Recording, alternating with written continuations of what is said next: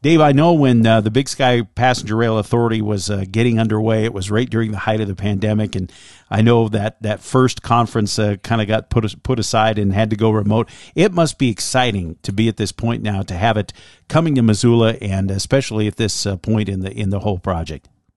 Well, it is super exciting to bring this all home here to Missoula, Montana. Even that first conference back in 2020 as disruptive as it was to try to pull this thing off during the middle of a pandemic and to pivot from a, an in-person to a virtual summit, uh, that same spirit of ingenuity to, to pull that off and, and make that one of uh, the most premier online experiences for participants really is in the same vein as as uh, everything that we've accomplished in the past three years. Now, getting this all together, and I know we're really at an interesting point uh, with uh, with the whole effort and the initiative here. What will you be kind of watching to, to hear, and, and what do you think uh, maybe two or three of the high points are that you're hoping to hear from this uh, uh, get together? So on Friday, we will have assembled here in Missoula representatives from the Federal Railroad Administration, from Amtrak, U.S. Department of Transportation, industry, um, representatives. So what we are hoping to to cover, and there's a lot of ground to cover in in a one day event, but what we're hoping to cover is an update from the Federal Railroad Administration on, on where things stand with this long distance passenger rail study that is coming to a conclusion, and which already we know that this route through Missoula and Missoula, Mon, uh, Missoula County is one of the preferred routes in the nation to be restored, preferred discontinued route. So, number one, just getting that status check of where this this route that we're most concerned about sits in the overall uh, scheme of things nationwide. Secondly, uh, we are going to be kicking off the actual planning process for the restoration of this route. We were accepted into a nationwide program. Uh, the North Coast Hiawatha route was accepted as the only new long distance route in the entire nation accepted into the project development pipeline. So we're going to be hearing from folks uh, in the uh, rail industry, rail car manufacturing companies, what it would look like to create a truly innovative passenger rail line that utilizes hydrogen fuel cell technology. So this is a big deal for us also.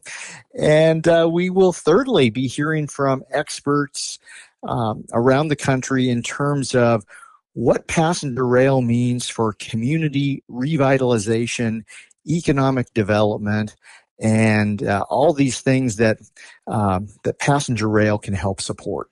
And I know a lot of interest in that in particular because one of the driving ideas with this is economic development and opening the door to uh, uh, a really bright future for uh, the communities along the southern route and, and the entire state, really.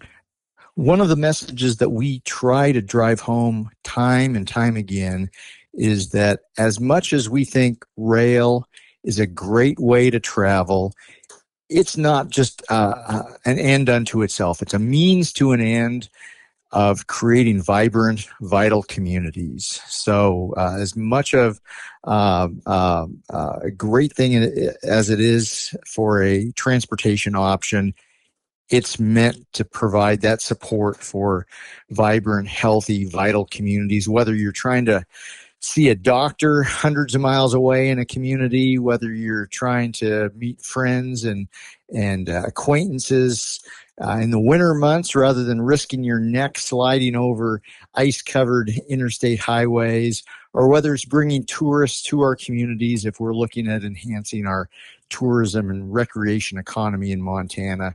Rail just has a lot of uh, attributes that are super attractive to all of those things. Now, is this uh, open to the public? And if somebody's been kind of following this process and they want to hear, learn more, I'm sure they're welcome to come too, right?